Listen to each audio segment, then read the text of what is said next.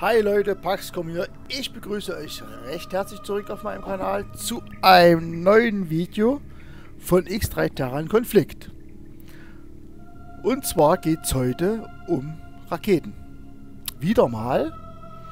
Und zwar habe ich da mal was vorbereitet. Und zwar habe ich ähm, eine Excel-Tabelle gemacht wo die ganzen Raketen drin stehen. Die habe ich schon ewig alt, die, die Excel-Tabelle. Ähm, und da habe ich mir jetzt hier auf der rechten Seite, seht ihr das? Genau, Bemerkung dazu geschrieben. Das hier unten sind die terranischen Raketen. Die Poltergeist haben wir schon mal getestet. Das ist wie die Wespe. Wenn Ziel zerstört, wird nächstes angegriffen, allerdings nur 13 Kilometer Reichweite. Ähm, die Wespe macht das nicht, aber die ist hauptsächlich für Kleinkampfschiffe, also M5 sowas geeignet. Was an der hier besser ist wie an der Wespe, dass die wahrscheinlich dann auch andere äh, Gegner angreift, wenn das eigentliche Ziel zerstört wurde. Das macht die Wespe nicht. Ähm, dann die Ghoul, die Baluga habe ich jetzt noch nicht getestet, weil ich für die Baluga habe ich jetzt noch keine Fabrik gefunden, mit der ich produzieren kann.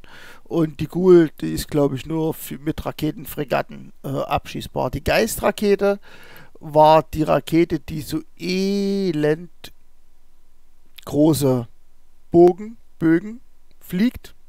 Also das ist auch eine Schwarmrakete, eine relativ starke, aber die muss man dann wirklich in Richtung des Feinds schon abschießen. Äh, die Gespenstrakete war ich jetzt wie gesagt nicht begeistert. Die Rakete wird meistens vom, vom Ziel abgeschossen. Nicht brauchbar für mich. Na? Deswegen mache ich das auch ein bisschen kleiner. Dass die dann aus der Liste quasi rausspringt. Äh, Phantom und Schatten, muss ich ehrlich sagen, habe ich jetzt noch kein Schiff gefunden, mit der ich die abschießen kann. Keine Ahnung, vielleicht finde ich das irgendwann noch heraus. Dann hier oben die äh, normalen Raketen. Ähm, die machen wir jetzt nochmal groß. Und zwar die Mosquito-Rakete haben wir ja schon getestet das letzte Mal. Die ist hauptsächlich zur Raketenabwehr. Kann man die gut benutzen. Die benutze ich eigentlich so gut wie nie. Äh, Raketenabwehr vielleicht oder sowas. Die macht gerade mal 200 Schaden. Also da kann ich niemanden hinterm Ofen vorlocken. Die Wespe wiederum ist eine sehr gute Rakete, eine äh, Schwarmrakete, sehr gut gegen M5, gegen Karg, aber gegen M4 sowas ist sie dann nicht mehr äh, so, so gut. Die Rapier-Rakete kann man nicht selber produzieren, nicht so interessant. Die Feuerfalter-Rakete ist zwar relativ schnell, aber die ist ziellos und hat nur eine Annäherungsdetonation. Also finde ich das nicht sinnvoll. Na, die nutze ich halt gar nicht. Ähm, okay. Die Stachelrakete, die wird, glaube ich, liegen gelassen von den Karg. Kann ich also selber nicht produzieren. Uninteressant für mich. Die Flammenschwertrakete ist wie die Feuerfalterrakete ziellos. Äh, muss ich also äh, im absoluten Nahkampf vielleicht einzusetzen. Aber das ist zu speziell die nutze ich nicht. Und die Libelle-Rakete äh, benötigt Ziel, hat eine Annäherungsdetonation, aber nicht, habe ich schon mal getestet. Was steht hier? Äh, einfach Steuerung. Hm, hab ich. Finde ich jetzt, bin ich nicht so begeistert davon. So. Ähm, deswegen mache ich die alle wieder kleiner. So. Die Enter-Kapsel, äh, gut, es ist im Eigentlichen keine Rakete, sondern die ist halt nur äh, für Marines zum Verschießen, damit man andere Schiffe ändern kann. Die Morgenstern-Rakete ist eine sehr gute Rakete, eine Schwarmrakete, aber von Raketenfregatten abschießbar. Äh, die haben wir jetzt, habe ich jetzt noch nicht die habe ich früher schon mal gespielt, aber jetzt noch nicht getestet. Die Disruptor-Rakete habe ich haben wir beim letzten Mal getestet und die habe ich halt, was ist denn jetzt passiert? Was habe ich jetzt gemacht? Die Disruptor-Rakete habe ich das letzte Mal schon getestet und für schlecht befunden. Deswegen nehmen wir die raus. Die Hurricane, Hurricane hm, ist sehr schnell, vielleicht gegen M4 ganz gut. Ähm, muss ich mir nochmal genauer anschauen. Bin ich jetzt nicht so davon begeistert, schauen wir mal. Die Nadelrakete kann man nicht produzieren, deswegen fliegt sie raus. So, die Aurora-Rakete ist ziellos. Für mich uninteressant. Die Donnerrakete kann man nicht selber produzieren, außerdem hat die eine Annäherungsstelle benötigt Ziel, ja, okay. Aber die kann man, glaube ich, selber nicht herstellen. Ähm, deswegen fliegt die auch raus. Und die Mantis-Rakete habe ich auch schon mal getestet. Ähm, was steht hier in Okay, die ist relativ klein. Macht 15.000 Schaden, ist relativ fix. Also die könnten wir eigentlich nochmal testen. Die werde ich nochmal testen. Ähm, okay, mal schauen, ob ich hier noch Mantis-Rakete hergestellt habe. Halt. Moment. Da äh, muss ich euch wieder das andere Bildchen zeigen. Das hier. So, die Mantis-Rakete. Äh, Eigenversorgung. Gela äh, nee, äh, Info. Habe ich die schon hier? Die produziere ich doch, glaube ich, selber. Libelle.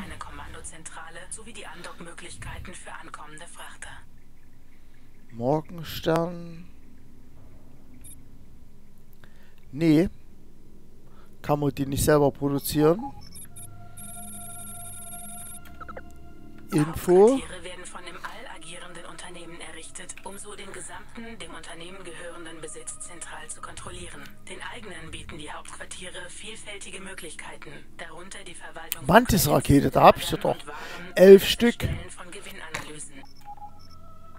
Wieso produziere ich die nicht selber? Gibt es die nicht zum selber produzieren? Impulsstrahlenemitter, äh, EM, Erschütterung, Schockwelle, Io. Wespe, Moskito, Hummel, Hornisse. Da muss ich mal schnell nachschauen, ob man die selber produzieren kann.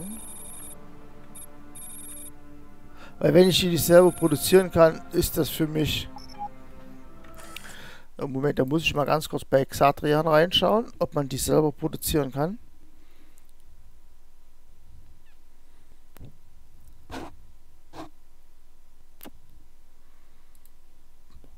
So, ähm... Moment. Äh, Fabriken nach Produkt. KLM. Ne, die kann man nicht selber produzieren. Deswegen habe ich die auch rausgenommen. Genau. Okay. Und dann werde ich euch wieder einen anderen Bildschirm zeigen. Deswegen kann ich äh, die selber produzieren. Uninteressant. Heute soll, äh, will ich einen Test machen mit der Hummelrakete, die Gewittersturm und die Donnerschlag. Die sind von der Geschwindigkeit her alle ähnlich, alles Einzelraketen, also Einzelschussraketen. Wobei die Donnerschlag und die Gewitterschlag, äh, Gewitterschlag, die Donnerschlag und Gewittersturm die größte Reichweite haben mit 78 und 62 Kilometer. Die Hummel kommt nur 28 Kilometer. Ist aber auch dafür sogar ein bisschen langsamer. Okay. Schaden macht die Hummel am wenigsten, wobei die Gewittersturm äh, auch mehrere Feinde angreift. Also wenn ich da jetzt 10 Stück auf einen Feind abschieße und der Feind wird getötet, dann greift die wohl die nächsten an. Die werden wir heute testen. Ähm, so ist der Plan. Die habe ich jetzt hier schon im, im Schiff. Ähm, genau, ich habe 300 Hummelraketen dabei und, und da kann ich frei wegtesten. Okay, äh, jetzt gucke ich mir einen schönen erstmal speichern. Ähm, halt, oh, jetzt hätte ich falsch, falsch, bald falsch gespeichert. Genau. Okay, das hier ist wie gesagt mein Testzugang. Äh, dann schauen wir mal, wo fliegen wir hin? Hier hinten waren doch so schöne Xenon. Genau, hier fliegen wir mal hin. Äh, heute ist wieder... Ui! hab gerade gesehen, ihr habt den, ihr seht noch den falschen Bildschirm. Entschuldigung, Gott sei Dank habe ich es noch gemerkt. Da ist der richtige. Ich habe heute Joystick wieder am Start. Den guten alten Cytec Cyborg Evo. Gibt es leider nicht mal neu. Ein richtig tolles Teil, wie ich finde. So, alles klar. Jetzt wollen wir mal gucken, was hier los ist. Xenon Q. Ähm, hier ist natürlich relativ... Okay, geben wir mal ein bisschen Gas, gucken, wo, ob es hier noch ein paar andere Gegner gibt. Genau, es ist da noch... Oh, LX, Q. Auf den... Wenn wir da eine abschießen, dann wird die wahrscheinlich... Ah, aber da hinten sind kleinere Schiffe. Da fliegen wir mal dahin.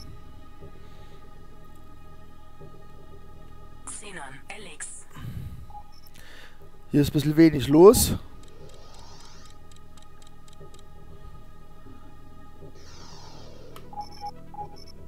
Warum ist denn hier so wenig?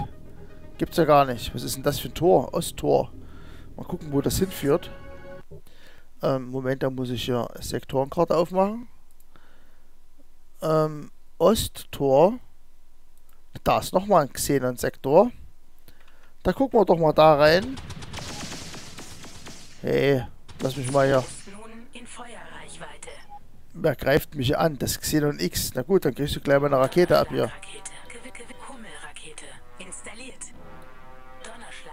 Aha. Ach so, ich drück zu lange drauf. Was ist denn jetzt? Habe ich das falsche Profil drin? Ähm, Spiel. Steuerung. Nee. Aktuelles Profil ist Hyperion. Was ist denn hier los?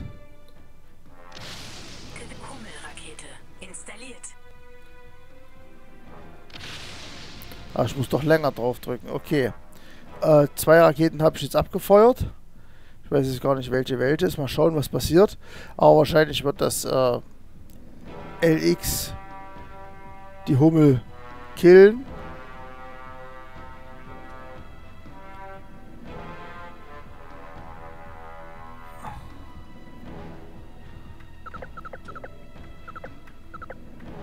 Da ist das LX. Doch, sieht schon krass aus, oder? Sieht schon schick aus. So, wo sind meine Raketen? Abgeschossen. Dann schießen wir mal fünf Stück ab von den Hummeln. Was ist denn jetzt?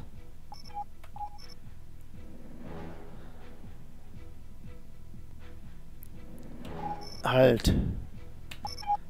N5. Jetzt. So, das sind die Hummeln. Da ist nicht eine durchgekommen. Okay. Ähm, das war ja ein bisschen sinnfrei. Oh, was ist denn hier nur los?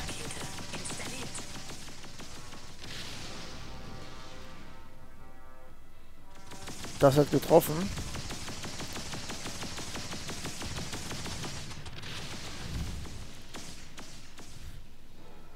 Die trifft auch vielleicht.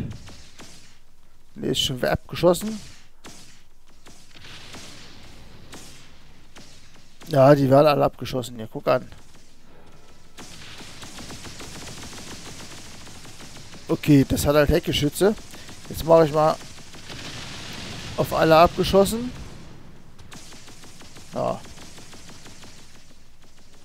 Also das bringt gar nichts hier mit den Hubbeln.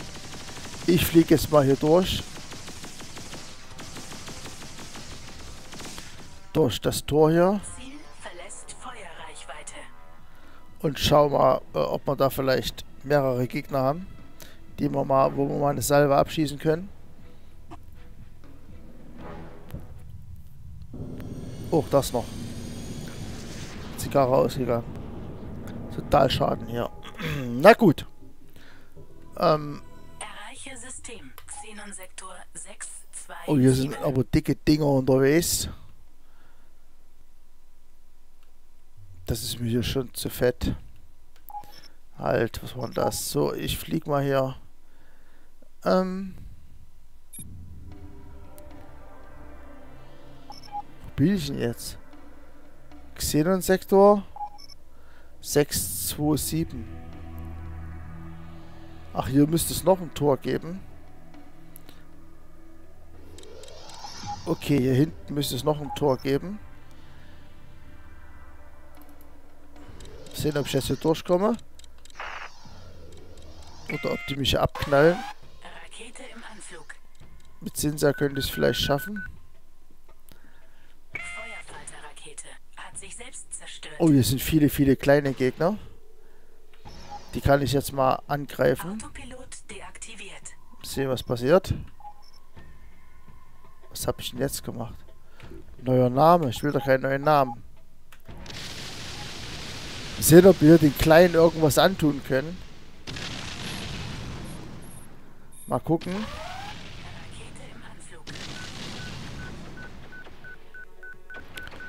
Also hier passiert gar nichts. Nochmal. Nochmal drei Salven abgeschossen.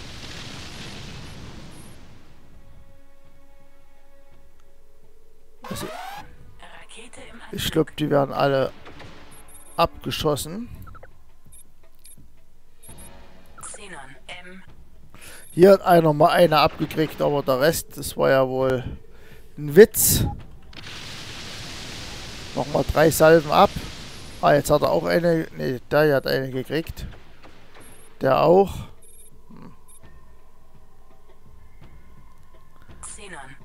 Begeistert mich jetzt nicht so sehr.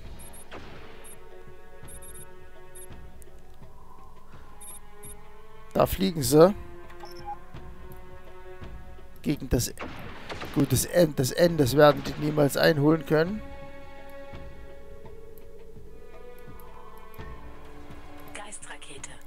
Okay. Da sind sie hier. Haha. Aber kriegen den wahrscheinlich nicht. Da ist er viel zu wendig. Oh, was ist denn da? Oh, jetzt muss ich abhauen. Okay, ich guck mal, was da hinten passiert. Die Geistrakete werde ich mal hier... Ich muss hier mal weg. Oh, ich stehe. Wieso bin ich hier stehen geblieben? Okay, ich muss hier weg.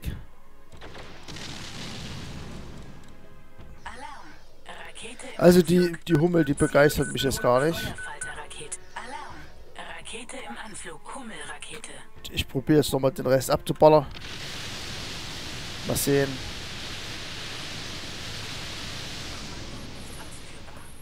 Nicht ausführbar, ja.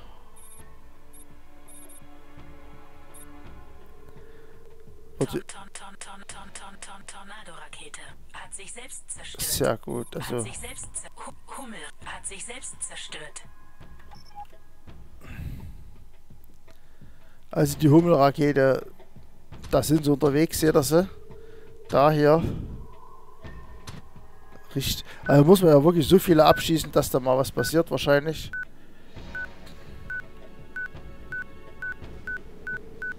Ja, jetzt hat es ein bisschen was erwischt, aber... Die überzeugt mich nun wirklich nicht.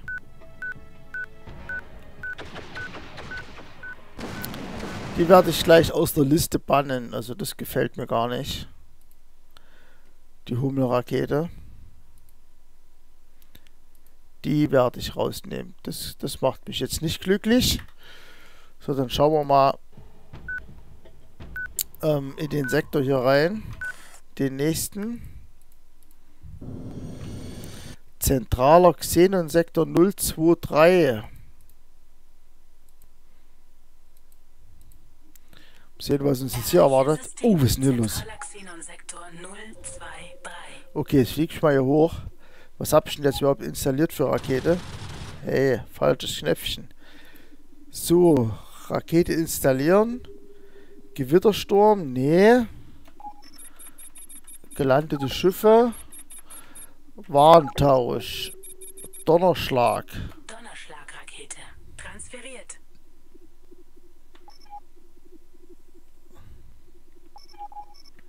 Hummel habe ich jetzt keine mehr. Okay, dann machen wir mal eins halt.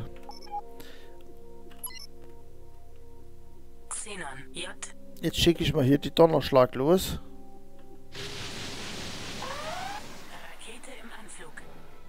Oh.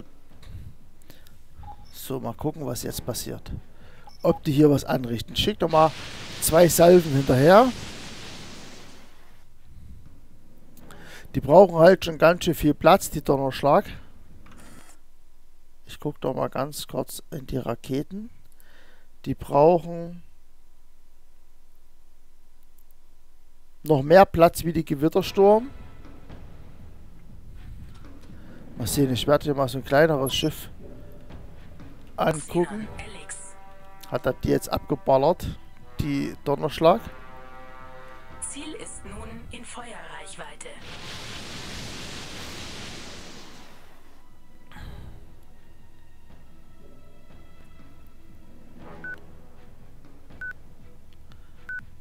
Oh, ich muss abhauen. So, die haben sie auch alle abgeschossen. Ist wahrscheinlich besser, man nimmt die im Nahkampf.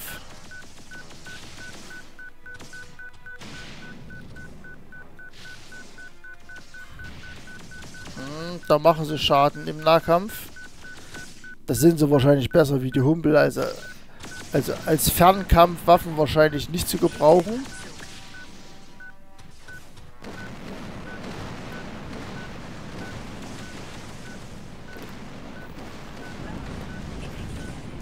Was steht denn jetzt hier? Äh, Benötigt Ziel, Hitze suchen. Okay, also wie gesagt, die ist der, Gew äh, der, der, der Gewittersturm relativ ähnlich. Ähm, nur, dass die Gewittersturm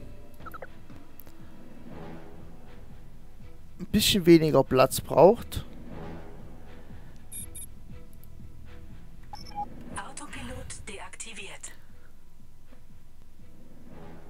Ah, hier hinten habe ich schon irgendwas zerstört hier. Da. Was ist denn das hier?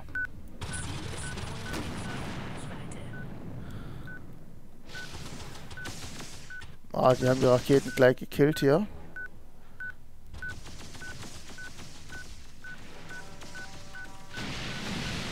So, ich schieße die jetzt ab. Die restlichen, mal sehen, ob ich hier jetzt was ausrichten kann.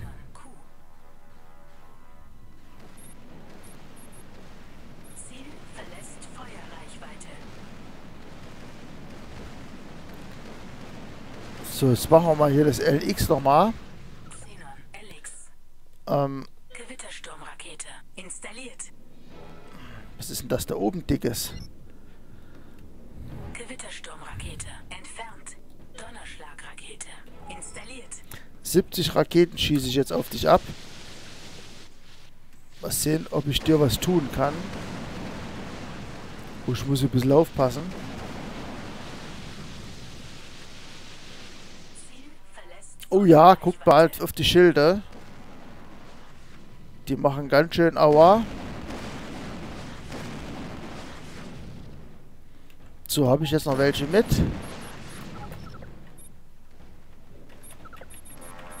Warentausch. Donnerschlag. Da schicken wir die... Kommando nicht ausführbar. Ach so, der ist zu weit weg. Okay, jetzt schicke ich nochmal die restlichen da auf dich drauf. N104. Halt, Quatsch. Ich muss erst die Donnerschlag aus, äh, auswählen.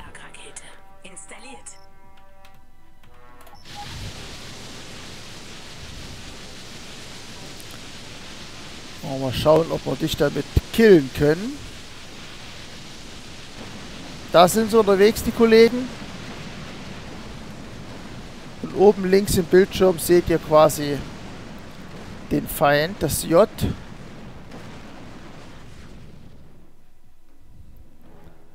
Mal gucken, ob was durchkommt. Sind im Endeffekt genauso schnell wie die Hummel. Machen nur viel mehr Schaden. Ich glaube, da kommen sie jetzt gerade angeflogen. Da schießt sie ab. Da schießt er sie gerade ab. Aber da kommt jetzt nichts mehr durch. In Feuerreichweite. Jetzt machen wir mal eins. Jetzt schieße ich mal die... Die, ähm...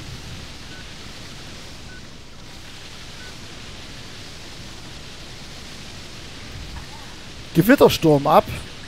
Die müssten den wahrscheinlich killen. Oh, das sieht doch geil aus, oder? Hoho, klasse. Und dann müssten sie eigentlich ähm, das nächste Ziel angreifen, falls sie den dann killen.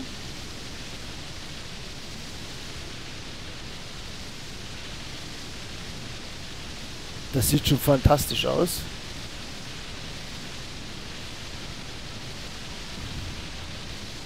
Das war's. So, jetzt durften die alle einschlagen. 22 Kilometer ist das Ding weg. Da schlagen sie ein.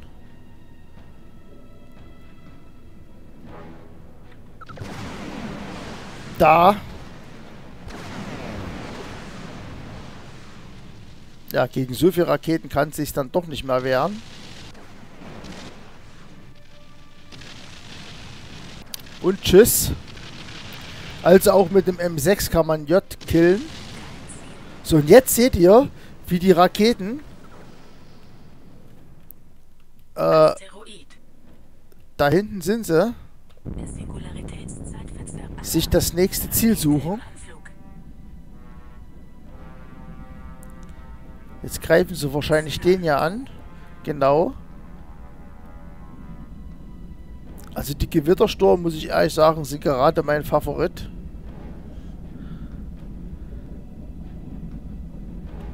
Da sind auch welche unterwegs, die fliegen... Wo fliegen sie denn hin? Also die haben jetzt nicht mich angegriffen, sondern wo gehen die hin? Also die versuchen doch nicht etwa allen Ernstes die Rakete hier zu treffen.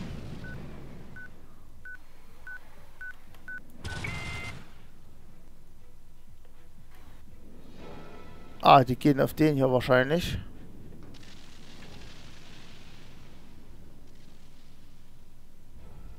Genau. Da schlagen sie ein.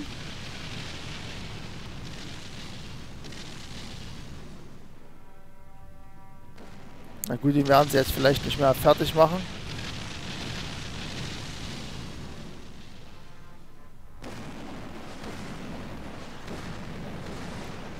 Naja. Aber die suchen sich dann auf jeden Fall das nächste Ziel. Das ist auf jeden Fall, finde ich, eine deutlich bessere Alternative wie die Hummel und die Donnerschlagrakete. Also die Donnerschlag werde ich wahrscheinlich mitproduzieren. Aber die Hummel auf jeden Fall nicht. Und auch nicht äh, die halt die äh, Donnerschlag. Also da werde ich mich für die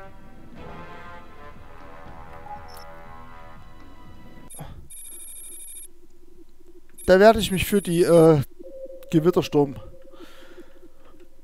Rakete entscheiden Sprungantrieb wird geladen. 10%. und von der Donnerschlag ein bisschen 30, produzieren 40, und die Hummel 50%, werde ich außen 60, vor lassen. 70, 80, Alles klar. 90. Dann hätten wir heute wieder drei Raketen getestet und eine von den drei Raketen für gut befunden. Da bedanke ich mich recht herzlich fürs Zuschauen. Wenn euch das gefallen hat, lasst einen Daumen da und äh, vielleicht noch Tipps habt für mich. Dann einfach in die Kommentare. Vielen lieben Dank fürs Zuschauen. Bis die Tage. Ciao, ciao.